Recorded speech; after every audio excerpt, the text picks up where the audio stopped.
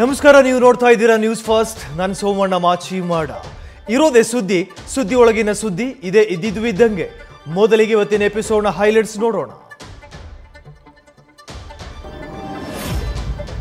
ಹಾನಗಲ್ ಸೋಲು ಕಮಲ ಹೈಕಮಾಂಡ್ ನಾಯಕರಿಗೆ ಎಚ್ಚರಿಕೆಯ ಕರೆಗಂಟೆಯಾಗಿದೆ ಇವರನ್ನ ನಂಬಿದರೆ ಸೋಲು ಕಟ್ಟಿಟ್ಟ ಬುತ್ತಿ ಎಂಬ ಮನವರಿಕೆ ದೆಹಲಿ ನಾಯಕರಿಗೆ ಬಂದಂತಾಗಿದೆ. ಹೀಗಾಗಿ ಎರಡ್ ಸಾವಿರದ ಇಪ್ಪತ್ತ್ಮೂರರ ಸಾರ್ವತ್ರಿಕ ಚುನಾವಣೆ ಬಿಬಿಎಂಪಿ ಚುನಾವಣೆಯನ್ನ ಕೇಂದ್ರ ನಾಯಕರಿಗೆ ಸಾರಥ್ಯ ವಹಿಸಲು ಚಿಂತನೆ ನಡೆದಿದೆಯಂತೆ.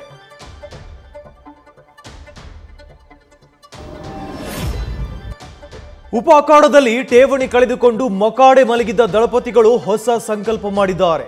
ತೆನೆಹೊತ್ತ ಮಹಿಳೆಗೆ ಮತ್ತಷ್ಟು ಶಕ್ತಿ ತುಂಬಲು ಪಕ್ಷ ಸಂಘಟನೆಯತ್ತ ಚಿತ್ತ ಹರಿಸಲಿದ್ದಾರೆ.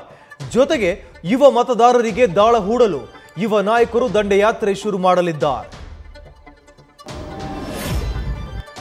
ಸಿಎಂ ತವರು ಜಿಲ್ಲೆಯಲ್ಲಿ ಗೆಲ್ಲುತ್ತಿದ್ದಂತೆ ಕಾಂಗ್ರೆಸ್ನಲ್ಲಿ ಗೆಲುವಿನ ಕ್ರೆ ಬಡದವರು ಸಂಭ್ರಮಿಸುತ್ತಿದ್ದಂತೆ ಕೆಪಿಸಿಸಿ ಅಧ್ಯಕ್ಷರು ಅಲರ್ಟ್ ಆಗಿದ್ದಾರೆ. ಈ ಶೀತಲ ಸಮರಕ್ಕೆ ಪೂರ್ಣ ವಿರಾಮ ಹಾನಗಲ್ ಗೆಲುವು ನಮ್ಮದಲ್ಲ, ಇದು ಕಾರ್ಯಕರ್ತರ ಗೆಲುವು ಎಂದು ಸಂದೇಶವನ್ನು ಹೊರಡಿಸಿದ್ದಾರೆ.